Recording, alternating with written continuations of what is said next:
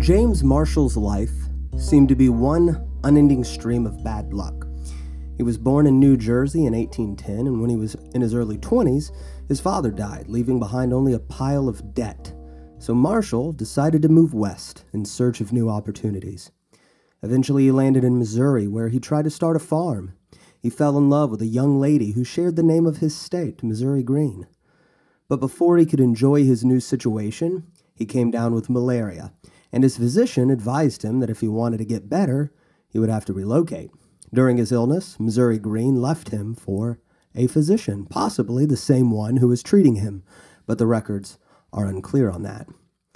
So, like many Americans who were hoping for a better life in the 1840s, James Marshall joined a wagon train on the Oregon Trail. After a long and painful journey, he and his companions arrived at Sutter's Fort, located in part of the Mexican territory on the Pacific coast, in July of 1845. John Sutter was not only the owner of the fort, but he was also the appointed governing official of the Mexican government, and he welcomed the party hoping they would be able to supply him with the labor he needed to finish some of his construction projects in the undeveloped region. Marshall was handy as a carpenter, and he was one of the few skilled workers Sutter had encountered in the area. He was able to work around the fort in exchange for wages and cattle, allowing him to start a ranch of his own. But his bad luck was not yet behind him, because only the year after his arrival, the United States went to war with Mexico. A patriot, Marshall joined the military to serve under Captain John C. Fremont.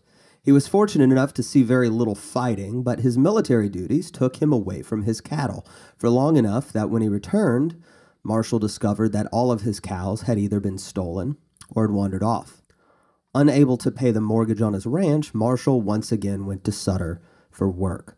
This time, Sutter was in the market for somebody handy enough to help him build a sawmill. Marshall wasn't ideal. In Sutter's home country of Switzerland, he would have easily been able to find a worker more familiar with the construction of water powered mills. But he wasn't in Switzerland. Marshall's skill as a carpenter made him the best available worker for the job. So Sutter offered a partnership with Marshall to scout out a location to build the sawmill.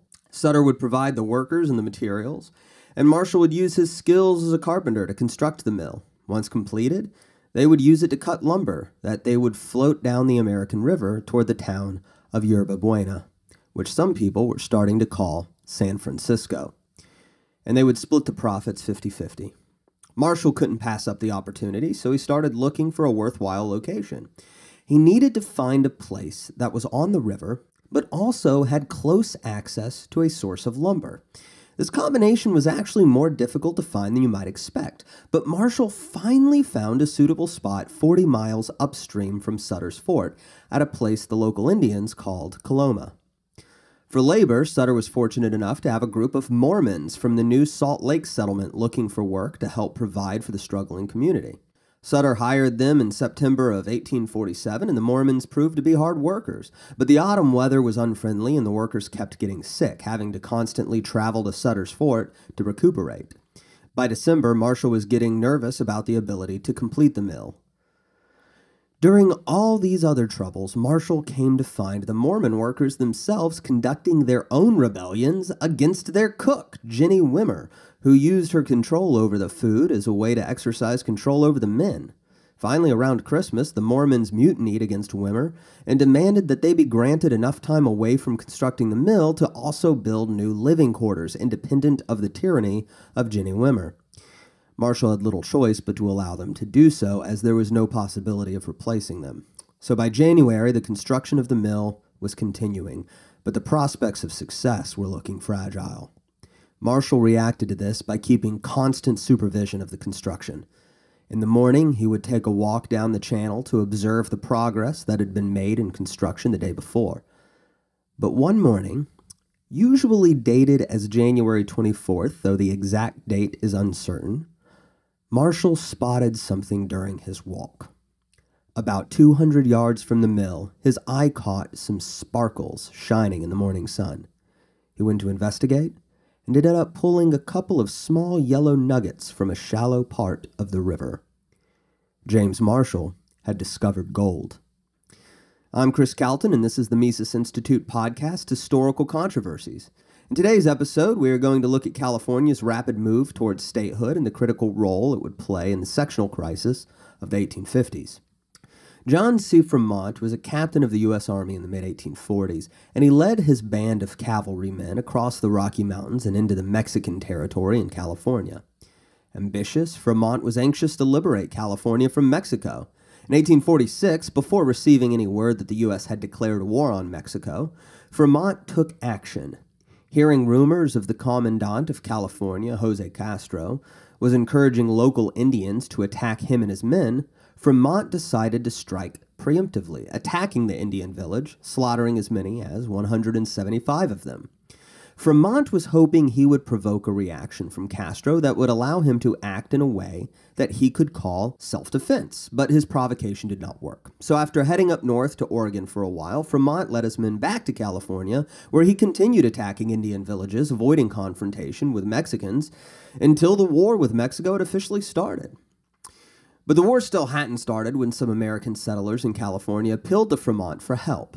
They had started a rebellion, now known as the Bear Flag Revolt, because of the flag raised by the Americans against the Mexican government in June of 1846. Congress had actually declared war against Mexico the previous month, but news of this declaration would not reach California until August. So if Fremont were to help these settlers fight, he would be doing so without permission from the U.S. government. But Fremont was impatient, and this gave him an excuse to act. He and his men entered the conflict and Fremont seized Sutter's Fort. The Bear Flaggers announced the Republic of California. But this was to be short lived after word came that American forces had secured Monterey as part of the Mexican War. Now Fremont could officially join the war against Mexico, so he raised a regiment of American settlers, including James Marshall, and led them to Monterey. But by the time they got there, the fighting was over, so Fremont went looking for action elsewhere. He joined Commodore Robert Stockton in San Diego and marched with him toward Los Angeles, where they secured the city. Then, in order to recruit more troops, Fremont went north, only to find out that fighting had resumed in Los Angeles and he was missing out on the action, so he quickly raced back to help put down the uprising. Thus, Fremont was seen as a liberator of California, and Stockton rewarded him by making him governor of the territory, an office Fremont would enjoy for two months. But when Army General Stephen Kearny showed up, he tried to take control of California from Stockton. This led to a dispute between the two authorities over who outranked whom, and most people believed that Stockton was the senior officer, including Fremont, who sided with Stockton and the Navy over his own branch of the military, which was the Army. Unfortunately for Fremont, Kearny won the fight for authority and had Fremont arrested for mutiny and insubordination, basically, in that he showed a lack of solidarity with the army that both he and Kearny were a part of.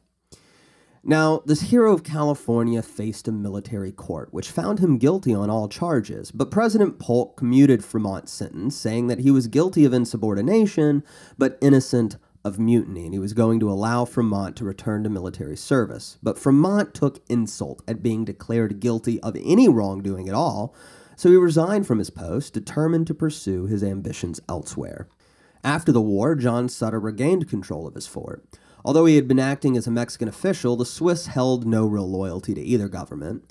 James Marshall was back in his employ, as you'll remember from the opening anecdote. When Marshall discovered gold, the United States and Mexico were still technically at war.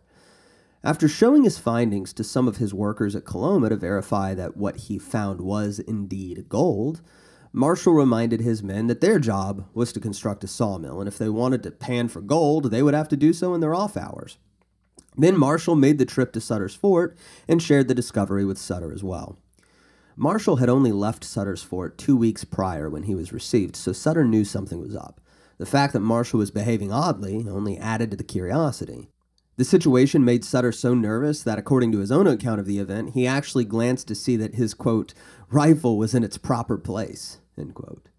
Finally, Marshall revealed why he was so excited, and he allowed Sutter to verify the gold himself by testing it with nitric acid. Sutter measured the density and the weight of the nuggets and declared that the gold was, quote, of the finest quality, of at least 23 carats. Back at the sawmill, the news of the gold discovery was slowly leaking out until it finally reached one of the Mormon settlers who had recently opened a general store there, named Sam Brannan. Up to this point, people were at least trying to keep the gold discovery quiet so that they would have less competition for it, but Brannan was in a different position. Since he owned a general store, he liked the idea of new customers, so he purchased a jar of gold dust and departed for San Francisco. Once he got there, he advertised the discovery by walking around the town waving his jar of gold dust, shouting, Gold, gold, gold from the American River.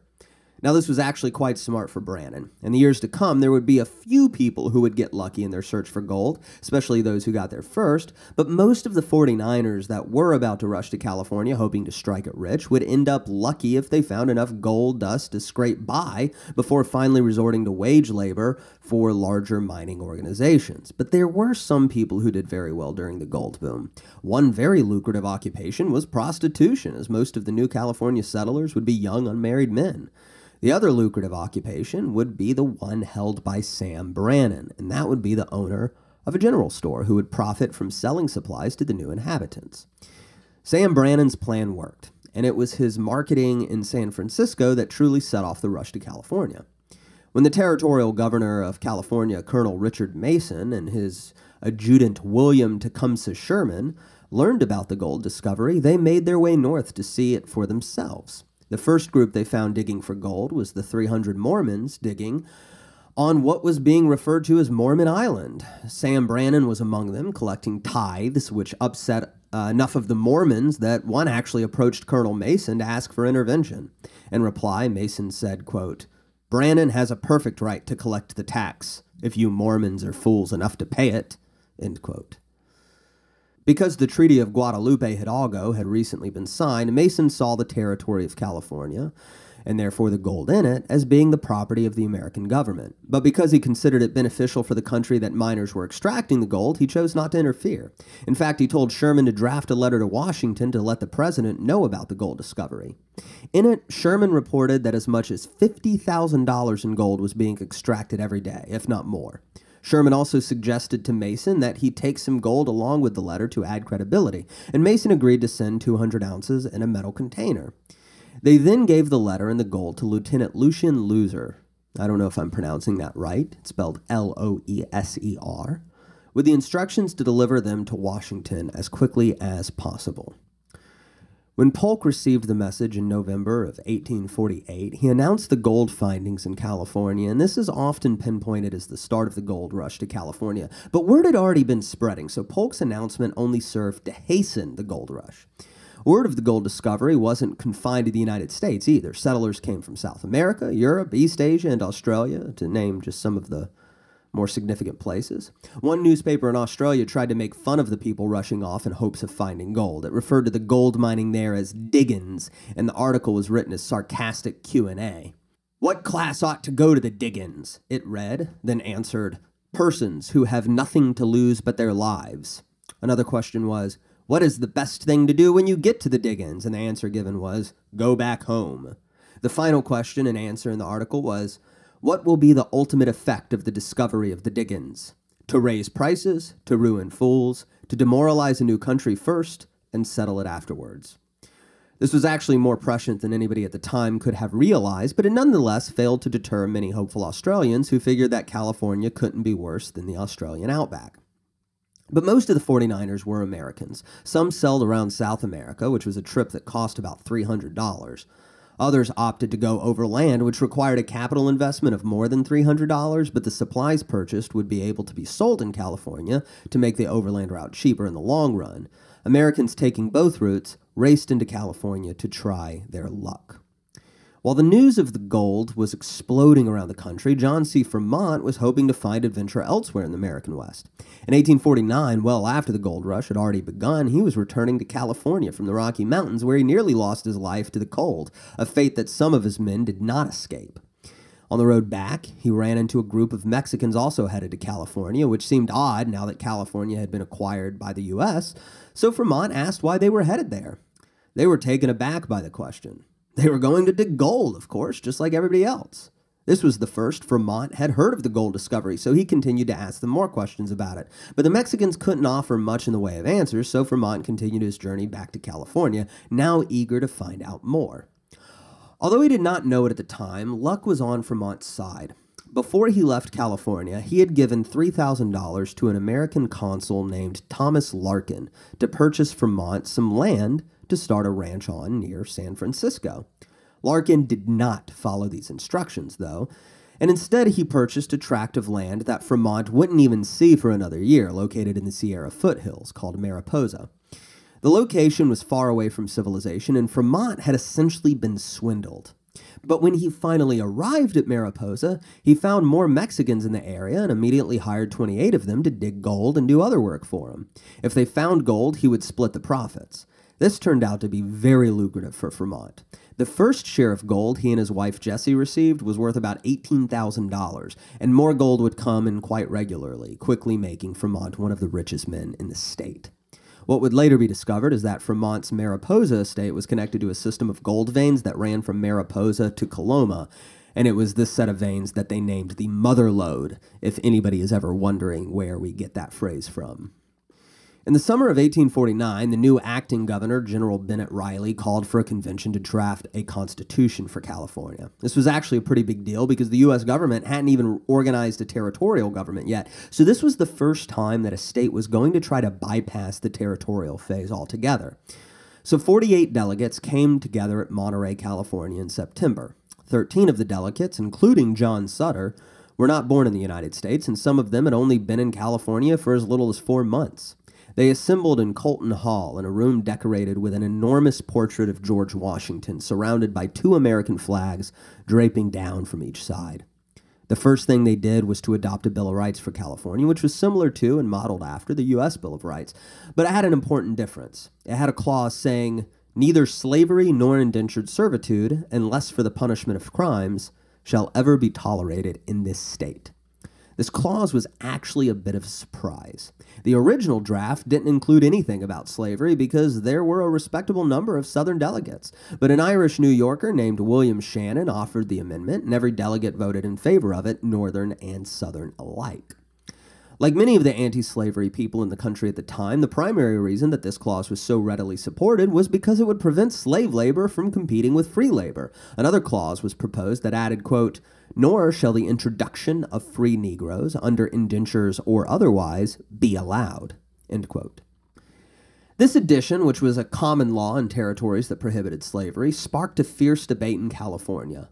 William Shannon opposed the clause, saying that, quote, free men of color have just as good a right and ought to have to immigrate here as white men, end quote.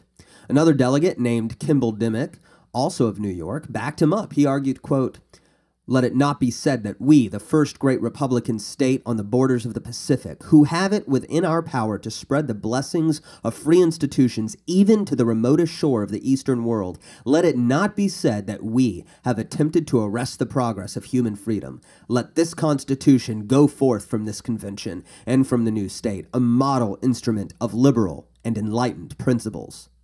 End quote.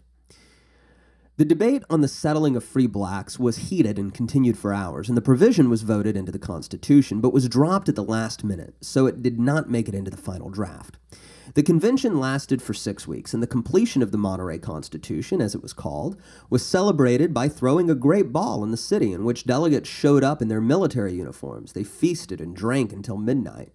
John Sutter, who had originally sided with the Mexican government, drunkenly proclaimed it to be the happiest day of his life and it was Sutter who was elected to lead the delegates to General Riley's quarters to present him with the completed Constitution. General Riley selected John Fremont, who is now among the most prominent men in California, to take the new Constitution to Washington.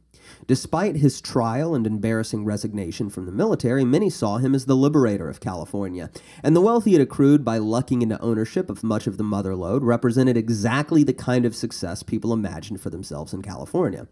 Nobody else better represented the dreams that accompanied California settlement, so they elected him as their first senator.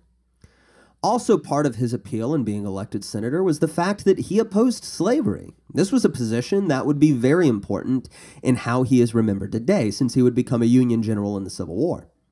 But while he never seemed to have been pro slavery, His principled anti slavery position was something he gained through marriage. His wife was the daughter of Thomas Hart Benton, an anti slavery senator from Missouri, though Benton's anti slavery views were also more of an extension of his wife, Jessie Fremont's mother, who had freed her own slaves as a matter of moral principle. Thomas Benton was hardly so passionate, but he stood by his wife's principles, and they were passed down to their daughter Jessie, who made very clear when she married Fremont that she would have nothing to do with slavery and neither would he. During the Monterey Convention, anti slavery delegates frequently met at the Fremont household, and this played a large role in helping Fremont gain one of California's two Senate seats in December of 1849. So Fremont took the Constitution to Washington as a man of gold rush success, a military hero in the eyes of his constituents, and the first senator elect and the son in law of prominent senator from Missouri, as well as an anti slavery politician. Until John arrived in Washington to seek admittance for California as a free state, the debate over the Wilmot Proviso that was proposed at the beginning of the Mexican American War was purely abstract. Now Congress had to face the real prospect of admitting a free state, which would upset the balance in the Senate between the free and slave states. This application reopened the sectional disputes that had already been mended twice since the ratification of the Constitution. Henry Clay was the driving force in passing the Missouri Compromise of 1820 that officially defined the North South divide over slavery. And Henry Clay was the driving force behind the Compromise of 1833 over the Tariff of Abominations that quelled the nullification debates between John C. Calhoun and the Jackson administration. Once again, Henry Clay would step up to propose a compromise that would hopefully diffuse the tensions between the slave and free states one last time. Clay's compromise included concessions to both the North and the South. First, it would admit California as a free state. Next, it would finally address the question of what to do with the rest of the Mexican cession, which was the territory acquired by the U.S. after winning the war against Mexico. Clay proposed organizing it under the territories of New Mexico and Utah, though at the time these territories were larger than their modern boundaries. And these new territories would not have a restriction on slavery. Instead, the issue of slavery would be decided by popular sovereignty, meaning that the people of the territory could vote on whether or not they would allow slavery into their new state when it became a state. Third, he addressed the border dispute between Texas and New Mexico. The Texas boundaries would not include any of the New Mexico territory that they were claiming, but in exchange, the United States government would assume $10 million of Texas's debts. Fourth, the District of Columbia would outlaw the slave trade, though slavery itself would still be legal. This was important in the North because slave auctions took place very near the capital, where foreign visitors could see them, which was embarrassing to the anti slavery citizens. And finally, the provision that would prove to actually exacerbate rather than quell the tension over the next few years a new fugitive slave law was proposed. There was already a fugitive slave law that was passed in 1793, but the slave state politicians felt it to be too weak. The new law stipulated that fugitive slaves would no longer be tried in front of state officials and instead would be tried in front of federal judges. As a blatant example of negative incentive, it also stipulated that a judge who ruled the slave to be free would be paid $5, but if the judge ruled that the slave was the legal property of the slaveholder making the claim of ownership, the judge would be paid $10. This was weakly justified on the grounds that such a ruling required more paperwork. The new fugitive slave law would also legally compel citizens of the North to help apprehend runaway slaves, which many Northerners saw as an assault on their own liberties, regardless of their feelings on race and slavery. But I'll be talking more about these controversies in the following episodes. Henry Clay did not want these provisions passed as a single bill, but the compromise was put in the hands of a committee called the Committee of 13, who organized them in a single bill called the Omnibus Bill. The debate over the bill was heated.